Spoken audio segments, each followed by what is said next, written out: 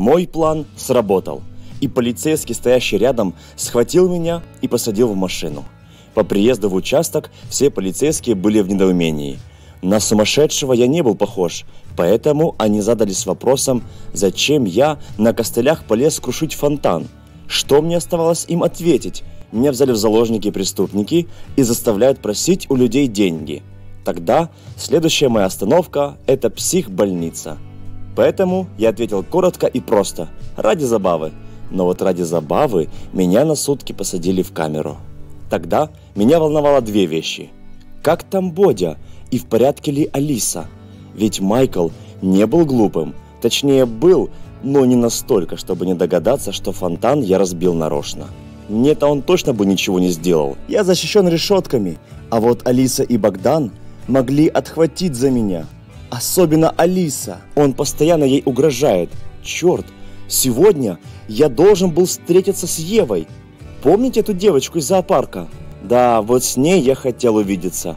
И даже не могу ей позвонить и предупредить, что сейчас был в тюрьме. Я надеялся, что она поймет мое состояние. Компанию мне составил молодой человек по имени Шон.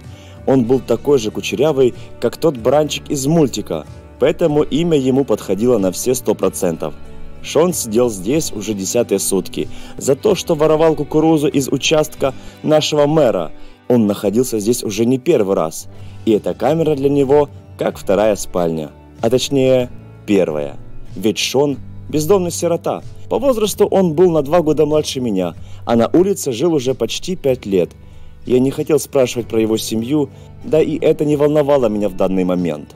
Я вспомнил воспитательницу из детдома, которая приходила на мою встречу и принесла письмо с домиком от девочки Миланы – которая как раз в данный момент лежала в кармане моей куртки. Я достал и посмотрел на домик. Он был великолепный. Я всегда знал, что у нее все получится. Но вот письмо я не хотел пока что распаковывать.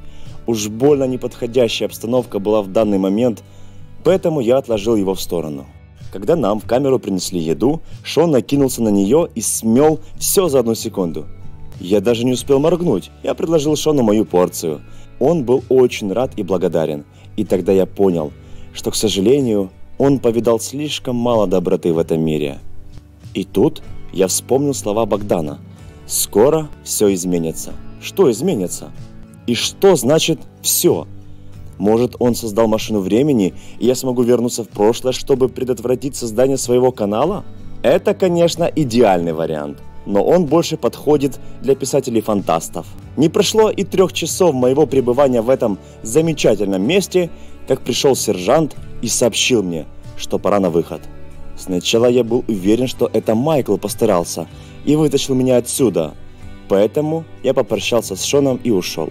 Возле здания полиции меня ждал роскошный лимузин. Я сначала не понял, что происходит и зачем Майкл раскошелился на лимузин – я сел вовнутрь, но там никого не было, кроме водителя, который всю дорогу молчал и просто крутил руль. Но если бы я знал, что в этот самый момент лимузин меня везет в новый этап моей жизни, то я бы задумался, садиться в него или нет.